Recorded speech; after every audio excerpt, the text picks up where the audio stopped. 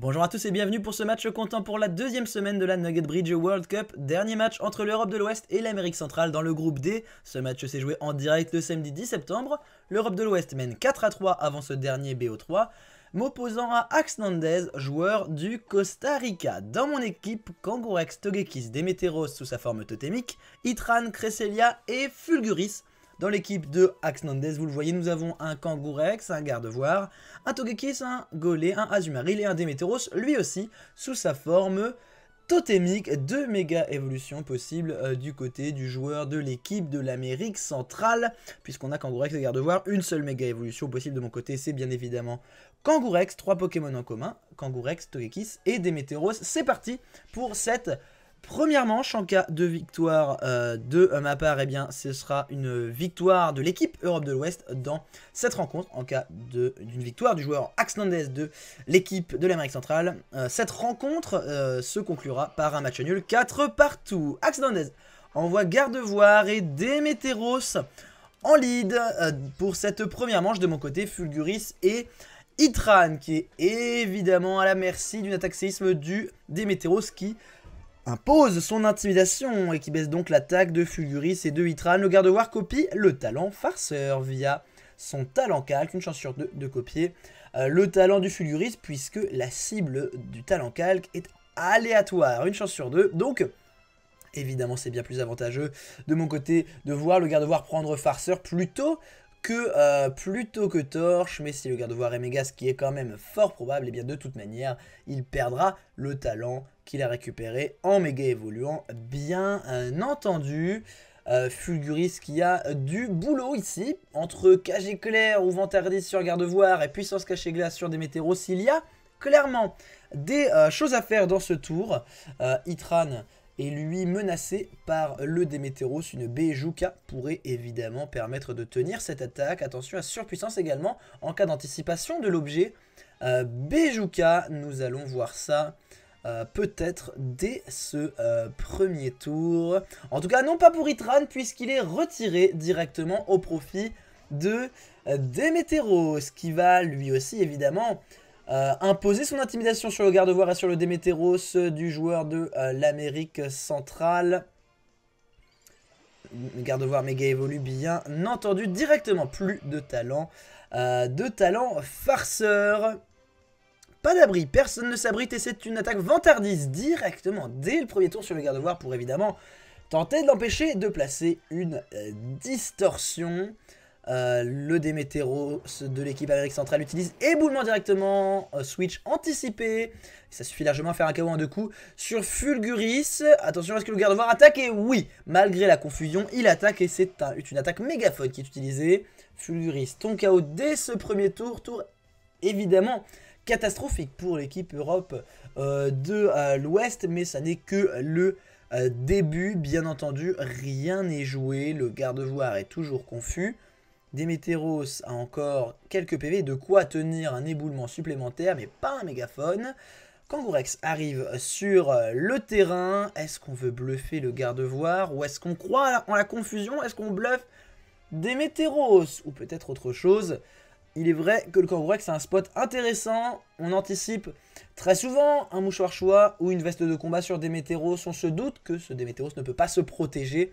Quoi qu'il en soit, le switch est anticipable, mais on peut également aller chercher le garde-voir, qui n'a qu'une chance sur deux de réussir son abri s'il reste confus. Demeteros est retiré immédiatement au profit de euh, Golé, euh, le euh, Pokémon le plus dangereux.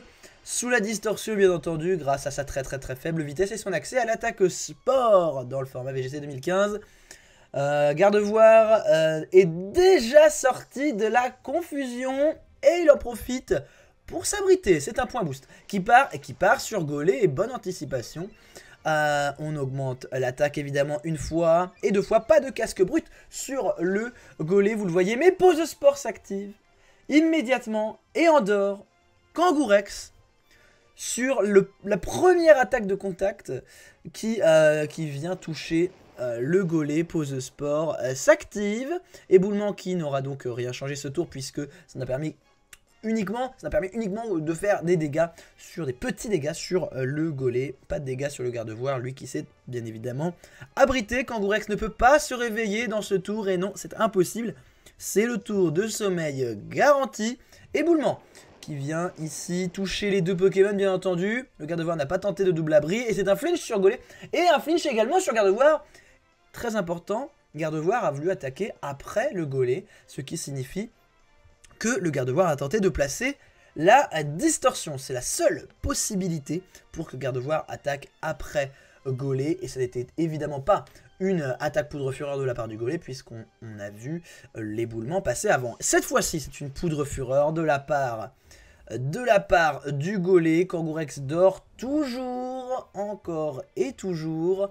Éboulement euh, sur garde-voie et Encore une fois, on tente un flinch. N'y a-t-il Il n'y a peut-être plus que ça. Et la distorsion, cette fois-ci, elle est posée pas de euh, flinch. La poudre fureur du Golé qui n'a pas été rentabilisée. Sport, euh, l'attaque sport était totalement gratuite sur Demeteros. On n'en a pas profité du côté, du côté du joueur du Costa Rica on n'en a pas profité, mais on peut très bien l'utiliser maintenant, puisqu'on est sous distorsion, et c'est Golé le patron dans ce cas-là, puisque les rapports de vitesse sont inversés pendant 5 tours. Demeteros est retiré au profit de Itran qui peut enfin rentrer sur euh, le terrain tranquillement, puisque Demeteros n'est plus là. Poudre Fureur, afin de protéger le garde-voir, on utilise toujours Passeport, toujours pas, et c'est une attaque mégaphone utilisée par le garde-voir qui fait des dégâts vraiment dérisoires à Itran évidemment c'est doublement résisté. En revanche Kangourex lui a pris plus de dégâts et va en infliger à son tour au Golé et Pose Sport s'active à nouveau deux fois sur deux et à nouveau avec le sommeil. Non, pas de paralysie qui aurait pu permettre au Kangourex de devenir plus lent que les Pokémon adverses et donc d'attaquer en premier sur la distorsion. Non, non, deux fois le sommeil sur Pose Sport dans une seule manche sur deux attaques de Kangourex. Et oui, vous ne rêvez pas, cela est bien en train de se euh, produire. Azumaril est envoyé, évidemment, on va peut-être en profiter, peut-être profiter du sommeil pour placer euh, Bidon, ou alors on va peut-être tout simplement essayer d'aller chercher le Hitran avec une attaque Aquajet. Potentiellement, ou alors on va peut-être essayer tout simplement de gérer le slot de droite, c'est-à-dire le Kangourex, et après ça le Demeteros qui n'aurait plus beaucoup de euh, PV, qui n'a plus beaucoup de PV, lui qui est euh, derrière, bien caché derrière Itran. Et Kangourex, on est toujours sous la distorsion. Garde-voir peut faire un petit peu ce qu'il veut. Attention au Itran qui a potentiellement euh, de quoi faire peur à ce, à ce garde-voir. C'est un tour qui est beaucoup plus, euh, beaucoup plus compliqué pour le joueur de l'Amérique centrale que pour le joueur de l'Europe de l'Ouest, puisqu'il y a beaucoup plus de possibilités différentes pour le joueur de l'Amérique centrale. On s'abrite avec garde-voir, on a peur de euh, Kuba, j'imagine. Kalinri et, et c'est loupé. Kalinri sur Kangourex, pas de KO. Luminocanon sur le Azumaril, euh, le garde-voir qui n'aura donc pas attaqué ce tour alors qu'il pouvait très bien attaquer il n'était pas en danger. Kangourex ne pouvait absolument pas se réveiller. Pourquoi s'être abrité Très bonne, euh, très très bonne question. Euh, Kangourex peut se réveiller ce tour-ci. Un Kuba viendrait punir viendrait punir évidemment le garde-voir qui s'est abrité, qui aurait très bien pu utiliser mégaphone auparavant. Euh, est-ce que Kangourex va se réveiller? Est-ce que Azumaril va tenter le Aquajet sur Kangourex Mais ça ne suffirait certainement pas à faire le KO. Il faudrait un éventuel coup critique. Peut-on vraiment miser là-dessus? Pas vraiment. Bien entendu, Itran lui a toujours tous ses PV, mais n'est pas véritablement dans une bonne position. En tout cas, c'est peut-être le dernier tour dans lequel il peut éventuellement être dans une bonne position, puisque, euh, puisque le Azumaril va utiliser soit Bidon, soit Aquajet. Donc, on peut aussi se retrouver face au Demeteros, et c'est le cas. En cas de réveil du Kangourex, le Kuba ne partirait même pas. Et non, Kangourex dort toujours. Pourquoi se réveiller? Pourquoi faire donc évidemment Kalinri qui va enfin mettre un terme à la vie de Skangrex euh, dans ce tour et Luminocanon à sa part pour, le Azumaril et ça ne suffit pas à faire le chaos à quelques PV près la Bessitrus est consommée. Confirmation c'est bien un Azumaril cogno bidon et non pas un Azumaril et, non pas un veste de combat même si on s'en doutait après les dégâts du premier Luminocanon. On aurait pu penser à un autre objet que l'abbé Citrus, étant donné que le joueur de l'Amérique centrale avait toutes les raisons du monde d'utiliser Cognobidon auparavant dans le combat et il ne l'a pas fait. Démétéros est renvoyé à nouveau. Est-ce que l'intimidation sur le Azumaril va suffire à tenir un Aquajet Cela pourrait être déterminant. Cela pourrait être déterminant. On sait du côté de Axlandez que le Hitran ne porte pas la Bejuka. On a déjà vu les restes, puisque Hitran a récupéré ses PV après avoir subi l'attaque mégaphone du méga garde-voir. On est toujours sous euh, la distorsion. Ne euh, l'oublions pas en cas de puissance cachée glace. Eh bien cela pourrait faire la différence. Cela pourrait permettre euh, le comeback, pourquoi pas? Mais c'est très rare, puissance cachée glace sur Hitran ça fait la différence quand c'est euh, bien placé, quand c'est bien senti. Est-ce qu'on reste avec des météros du côté euh, de Axnandez On peut retirer des météros ici afin de revenir une fois que la distorsion se termine. Euh, cela pourrait être un plan de jeu assez intéressant. Et effectivement, on retire, on retire des météros pour envoyer pour envoyer le garde-voir qui a encore quelques PV. Le Aquajet, il part pour, il part pour des météros, c'est oui, et ça assure effectivement le chaos malgré l'intimidation. On n'oublie pas que Azumaril, ça tape très fort. L'intimidation n'aura rien changé à sa canicule qui ne suffit pas à tuer Azumaril, ça ne suffit pas non plus à tuer garde-voir, il n'y a plus de...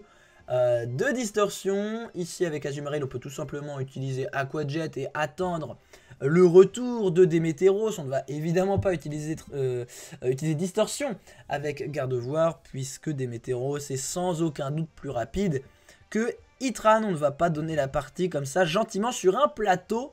Bien entendu, on ne fait pas ces choses-là. Ne vous faites pas avoir par les localisations des joueurs affichées à l'écran. Euh, je viens bien de France et Axnandez vient bien du Costa Rica.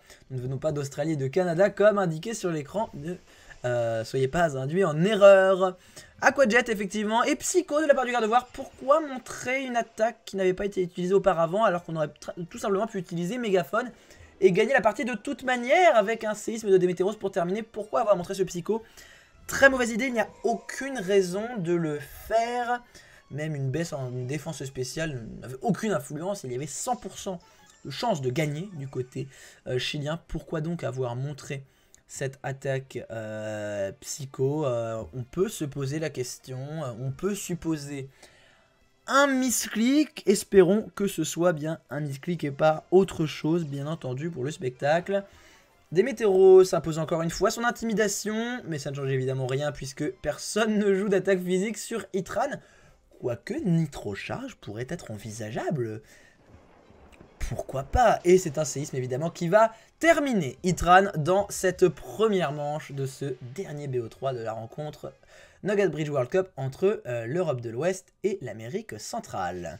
Deuxième manche de ce BO3, euh, Axe mène 1 à 0 pour l'Amérique centrale dans ce dernier BO3 de cette euh, rencontre. Les leads vont-ils changer? Faut-il changer de plan de jeu? Du côté euh, français, du côté Europe de l'Ouest, probablement Gaulet et Gardevoir ont beaucoup trop fait la différence dans la première manche. Il faut corriger ça. Eh bien ce sont Togekis et Azumaril qui sont envoyés en lead du côté Amérique centrale. On n'avait toujours pas vu ce Togekis. Togekis était également envoyé de mon côté aux côtés de Demeteros. Euh, intimidation qui va principalement baisser l'attaque du Azumaril. Pas d'influence par rapport au euh, Togekis, est-ce qu'ici on partirait pas tout simplement pour un Parisis Bidon?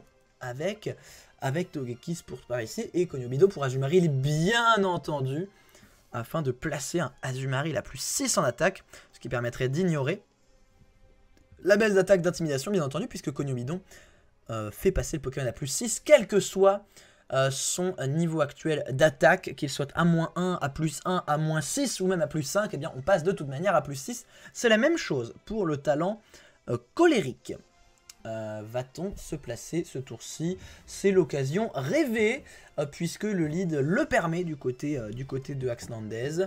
Et c'est Kangourex qui est envoyé à la place de Togeki. C'est vrai qu'on n'a pas grand-chose à rediriger ce tour-ci de mon côté. Par ici est effectivement utilisé de la part du Togeki. C'est une attaque éboulement de la part de mon Démétéros. On va faire des dégâts intéressants sur le Togeki. C'est quelques dégâts sur le Azumaril. Euh, et c'est bien un Konubidon qui est utilisé. Pas de flinch sur cette Azumaril. On perd la moitié des PV. Mais l'échange est évidemment très très rentable puisqu'on maximise l'attaque, bien entendu. Euh, le Azumaril qui peut faire des KO à tout va désormais, même avec son attaque Aquajet pour les Pokémon les plus fragiles ou sensibles au type O. On sait également qu'il a attaque Kalinerie. On le sait, on l'a vu lors de la première manche, il l'a loupé une fois, réussi une seconde fois. Qu'est-ce que ça va donner dans cette seconde manche? Est-ce que le joueur de l'Amérique centrale va euh, aussi bien éviter, euh, éviter les dangers, va-t-on dire? Togekis peut tout simplement rediriger les attaques ici, mais ici on a peur de bluff, évidemment, du côté de l'Amérique centrale, quand on voit ce Kangorax revenir sur le terrain. Euh, Fulguris prend la place de Demeteros, un génie pour un génie, c'est du poste pour poste, on méga évolue. du côté de Kangourex, bien entendu, pas de raison, pas méga évoluer ici. Et euh, on va voir le Togekis s'abriter en premier. Et on va donc également voir le Azumaril s'abriter. On ne prend pas de risque, on n'essaye pas de savoir qui le Kangourex va bluffer. Et eh bien non, c'était une frustration pour Togekis. Justement, c'était une frustration pour Togekis en anticipation de l'abri du Azumaril. Mais le Togekis s'est également abrité on n'a pas été gourmand du côté Amérique centrale, mais on aurait, pu, on aurait également pu prendre l'avantage et en profiter. Mais on ne l'a pas fait du côté Amérique centrale. Euh, essaye de protéger un maximum cet Azumaril. Un maximum afin de faire la différence par la suite. Et c'est une attaque par ici qui est utilisée de la part du, euh, Togekis et le Hajumaril Aquajet. C'est évidemment prioritaire sur le Fulguris. Et le Fulguris tient avec un petit PV grâce à la ceinture force. Et il peut donc utiliser une attaque tonnerre sur ce Togekis qui va tomber KO après Aquajet sur Fulguris. Et oui, la ceinture force qui vient sauver Fulguris et qui permet donc de faire le KO sur Togekis et qui permet également à Kangourex d'aller chercher le Azumaril. C'est effectivement, vous l'avez bien vu, un double KO de la part de Kangourex et Fulguris face à Togekis Azumaril alors que le Azumaril était placé à plus 6 et l'Aquajet partait. Pour Kangourex, on aurait pu dire au revoir à Kangourex, cela aurait fait une énorme, une énorme différence dans ce combat. Cependant, le Fulguris n'aurait pas perdu sa ceinture force et aurait pu donc l'activer contre le Azumaril une fois de plus, une fois de plus, ou plutôt une fois plus tard, devrais-je dire. Kangourex et Demeteros sont envoyés euh, du, côté du Costa Rica. Euh, il est possible que je me sois trompé dans le nom, de, dans, la nationalité euh, de Axandez. Il m'arrive de dire chilien au lieu de Costa Rica, mais c'est évidemment un lapsus, une petite erreur. Veuillez m'excuser si je, si je fais l'erreur, c'est bien évidemment joueur du Costa Rica, Amérique centrale, joueur participant des Worlds 2000, 2016, 4 victoires et 4 défaites au Day 1. Kangourex est retiré, on veut profiter de bluff un peu plus tard dans le combat et on veut évidemment intimider ce Kangourex et ce Demeteros qui ne peuvent pas être retirés et donc qui ne peuvent pas euh, annuler ces baisses, baisses d'attaque bien entendu. On méga évolue avec Kangourex, on n'avait pas peur de toute manière d'un quelconque bluff, il n'y a pas de Pokémon Spectre donc pas d'intérêt de garder un éventuel talent que Roller ou, euh, ou attention, et c'est une puissance cachée utilisée par Fulguris sur ce Demeteros, et effectivement on confirme la veste de combat puisque ce Demeteros ne tombe pas KO, c'est un point boost qui est utilisé sur Demeteros, on a anticipé le switch très bien joué de la part du joueur du Costa Rica, on passe à plus 1 et à plus 2 en attaque, on se gave avec avec le point boost et éboulement évité par Demeteros, euh, mais qui va tout de même terminer Fulguris. Au revoir Fulguris, on n'aura pas de génie sur le terrain au début du tour. Suivant, et non Et non, mais cela donne un switch gratuit euh, de mon côté. Est-ce que j'envoie Togekis ou est-ce que j'envoie Kangourex dans ce tour? On peut bluffer avec Kangourex, on peut également utiliser Kuba sur des Météros, on peut également bluffer le Kangourex. Le risque, c'est de prendre une surpuissance euh, sur, euh, sur Kangourex, puisque le bluff du Kangourex permet uniquement de gagner du temps. Cependant, il est fort probable qu'un éboulement de mon Démétéros soit suffisant pour terminer le Démétéros adverse. Nous avons un miroir parfait dans ce tour avec un Kangourex, un méga Kangourex et un Démétéros de chaque côté. Au niveau des PV, on est loin du miroir puisque le Démétéros est mal en point. Mon Démétéros n'a perdu que quelques PV. Attention, puisque le Kangourex du joueur du Costa Rica est à plus 2 en attaque, est à plus 1 pardon, et à plus 1 puisque il avait pris l'intimidation de mon Démétéros, bien entendu. Et c'est une Damoclès, point boost Damoclès, une combinaison d'attaque qu'on voit beaucoup moins en, 2015 qu'en 2016. Et c'est à coup critique, ce qui ne change évidemment rien. La Damoclès aurait fait le chaos sur mon Kangourex, ça ne change absolument rien ici. Et c'est une surpuissance de la part de mon Démétéros sur le Kangourex adverse qui vient terminer et entériner cette seconde manche. Égalisation un partout. Cette rencontre entre euh, l'Amérique euh, centrale et l'Europe de l'Ouest va s'achever euh, sur une manche décisive. Tout va se jouer sur une seule manche. Toute dernière manche de cette rencontre entre l'Amérique centrale et l'Europe de l'Ouest. Attention de ne pas inverser évidemment. Ne vous inquiétez pas, le score va être mis à jour très bientôt. Il y a bien un partout entre moi-même et Axlandez. ne vous inquiétez pas, le score va bientôt être mise à jour, ne vous en faites pas. Pour sa troisième et dernière manche de, euh, cette, de ce match, et donc de cette rencontre, dernière manche, toute dernière manche, de cette rencontre, cela peut se terminer soit par euh, une égalité, 4 partout en cas de victoire du joueur euh, du Costa Rica, soit par une victoire de l'Europe de l'Ouest en cas une victoire de ma part. Fulguris et Kangourex face à Gaulet Gardevoir. Des leads différents pour les deux joueurs dans toutes les manches. Le garde-voir a pris le talent Attention, si je ne m'abuse, grâce à son talent calque, il a copié le talent Attention de Kangourex, puisque celui-ci n'a pas encore méga évolué. Golé, attention au Golé, on a vu, on a déjà vu Vantardise sur le Fulguris, on a vu Vantardise, puissance cachée et tonnerre, on ne connaît toujours pas la quatrième attaque du côté du joueur du Costa Rica. On peut avoir peur de provoque, on peut toujours avoir peur de l'attaque, on peut éventuellement avoir peur de bluff de la part du Cambrex, principalement de bluff, dirais-je même. Euh, le garde-voir, lui, euh, peut euh, tout simplement faire de bons dégâts avec mégaphone, mais n'a-t-il pas plus intérêt à poser une distorsion afin de profiter de l'avantage, de la vitesse que cela pourrait lui procurer? On va voir quels seront les choix de chaque joueur très bientôt, puisqu'ils vont être contraints évidemment de choisir leurs attaques. N'oubliez pas que c'est un combat c'est un combat euh, qui n'est pas euh, réalisé sous le logiciel de tournoi officiel. Et donc nous n'avons pas le chrono de 45 secondes par tour mais bien de 90 ou 99 je peux me tromper 99 secondes. Les joueurs peuvent donc prendre plus de temps à choisir leurs attaques et le chrono total est de 60 minutes. Ne l'oublions pas.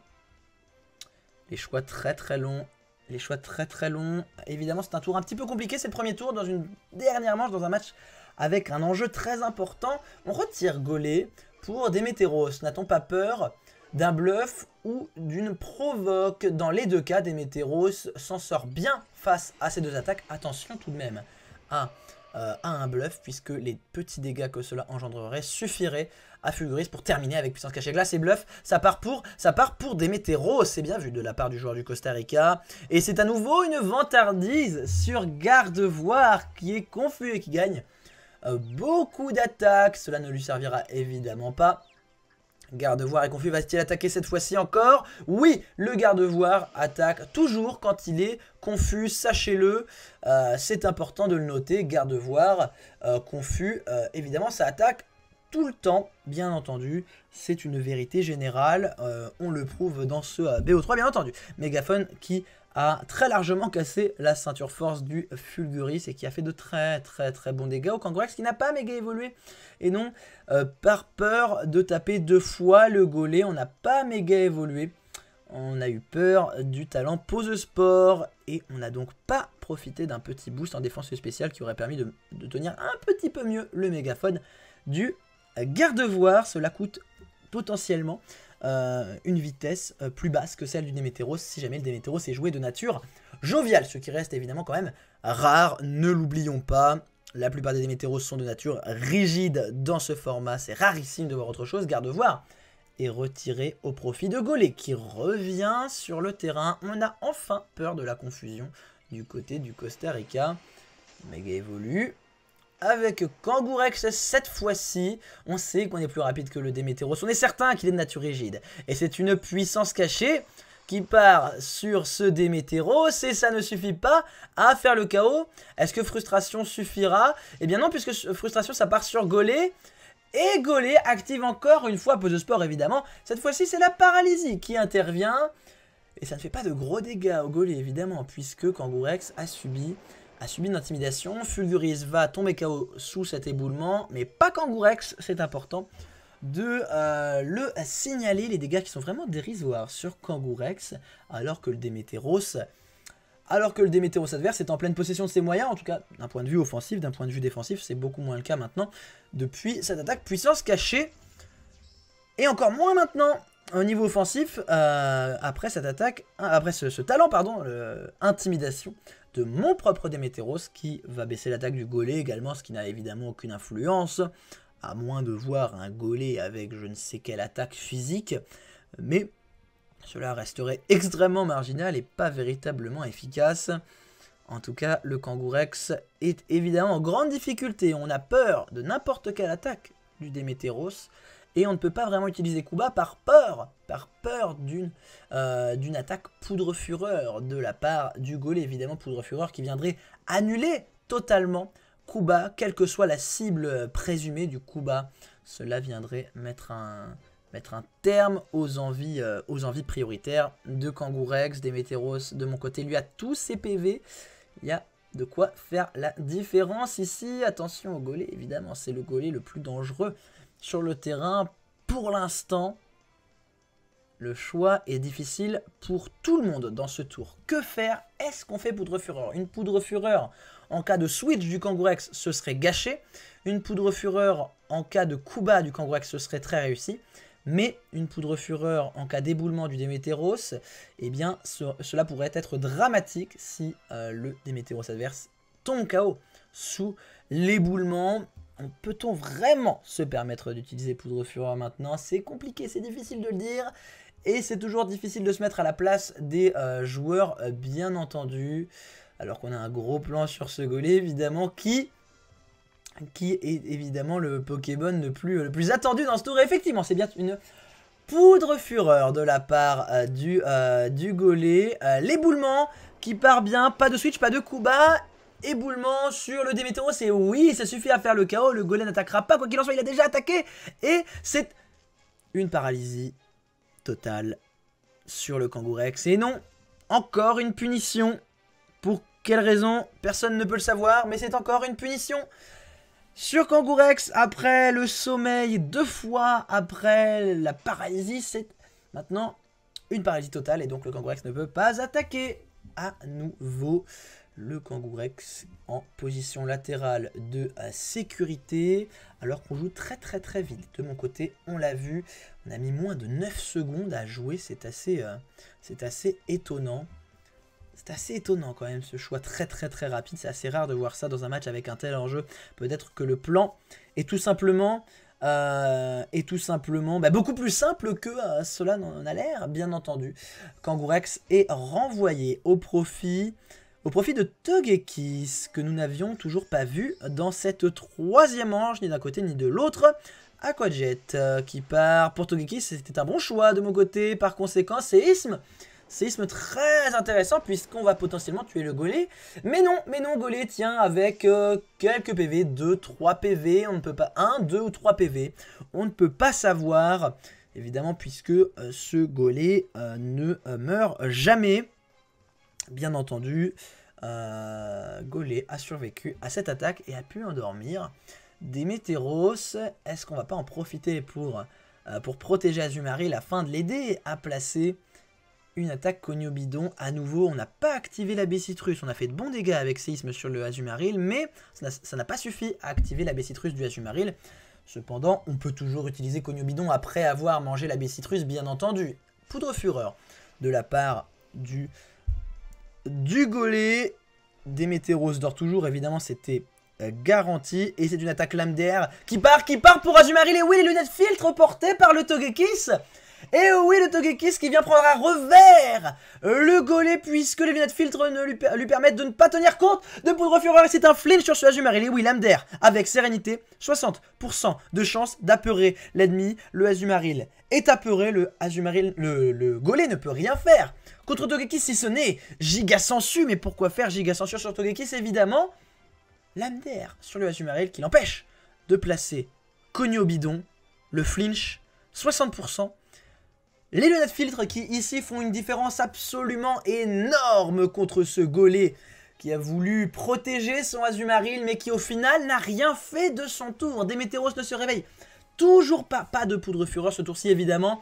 C'est à nouveau une lame d'air qui part pour le Azumaril. Et c'est à nouveau un flinch sur le Azumaril. Giga Sensu qui va faire des dégâts dérisoires sur le Demeteros. N'oublions pas qu'il porte la veste de combat. Le, euh, le, le, le euh, récupère un tout petit peu de PV, mais ça ne change absolument euh, rien. Il est à portée de KO sur n'importe quelle attaque.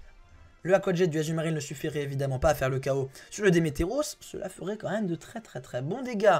Va-t-on partir pour un par ici avec, euh, avec Togekis Le risque, c'est que le Demeteros ne se réveille pas. Et oui, c'est le risque.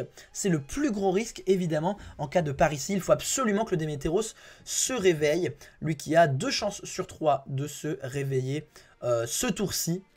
Deux chances sur trois ce tour-ci et il sera certain de se réveiller au tour suivant. Aquajet sa part, effectivement, pour le Demeteros. Ça fait de bons dégâts, mais ça ne suffit pas. Et Demeteros se réveille, effectivement. Et c'est une attaque séisme qui part à la fois sur Azumaril et sur Golem, bien évidemment. Coup critique sur Azumaril, cela n'a aucune influence.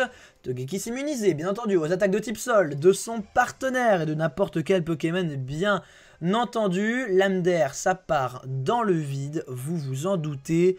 Il ne reste euh, plus qu'un Pokémon, si je ne m'abuse, du côté du joueur de l'Amérique centrale. Et oui, il ne reste plus que le garde-voir seul au monde face à Demeteros, Togekis et Kangorax. Mais ça n'est clairement pas fini. Demeteros tombe KO sous n'importe quel mégaphone, bien entendu. Togekis ne peut pas tenir toutes les attaques du monde, il n'a pas de Bessitrus. Et donc, il peut très bien tomber KO en deux coups sur à peu près n'importe quelle attaque. Et n'oubliez pas que Kangourex est encore paralysé avec très très très peu de PV. Ne l'oublions pas. Cela peut faire une différence énorme dans euh, ce combat. C'est très très tendu. Séisme de la part de Demeteros, on ne tente pas. Le flinch, ici, non, on ne le tente pas. On assure un certain montant de dégâts. Mégaphone de la part du garde-voir, évidemment. Pas de coup critique sur le Togeki, cela n'aurait pas suffi. Il y a très peu de choses. Près, ceci dit, coup critique sur le Demeteros. En revanche, le KO était assuré de toute manière et c'est une KG claire de la part de Togekis qui va permettre au Kangourex de rester plus rapide que le garde-voir malgré son problème de statut puisqu'ils sont euh, à égalité de ce point de vue. Là, statu quo, euh, paralysie de chaque côté. Togekis peut en profiter pour utiliser l'âme d'air. Kangourex peut tout simplement utiliser sa frustration pour éliminer garde-voir. Attention, en cas de parax, de paralysie totale de la part de Kangourex et euh, euh, d'une lame d'air euh, loupée de la part du Togekis, eh bien cela pourrait totalement renverser le cours de cette troisième manche et donc de cette rencontre qui se joue donc au bout du suspense troisième manche du match dans, la, dans le dernier match de la rencontre à 4-3. Ça ne peut pas être plus serré dans une rencontre de Nugget Bridge World Cup. Ça n'est que la semaine 2, mais les enjeux sont déjà énormes, évidemment. Évidemment, puisque l'Amérique centrale euh, garderait la tête euh, du groupe en cas de match nul et que le garde-voir est totalement paralysé. C'est une lame d'air de la part de Togekis qui ne suffit pas à faire le chaos, c'est un coup critique. Et la frustration du Kangourex qui va évidemment terminer ce garde-voir. Et c'est donc une victoire de ma part pour l'équipe de l'Europe de l'Ouest face à Ax Nandez, joueur du Costa Rica pour l'équipe de l'Amérique centrale. Bravo Nandez. Bravo à toute l'équipe de l'Amérique centrale et évidemment bravo à, tout, euh, à tous mes coéquipiers de l'équipe euh, de l'équipe Europe de l'Ouest. Bravo à vous, cela fait 5 à 3 dans cette rencontre pour l'Europe de l'Ouest.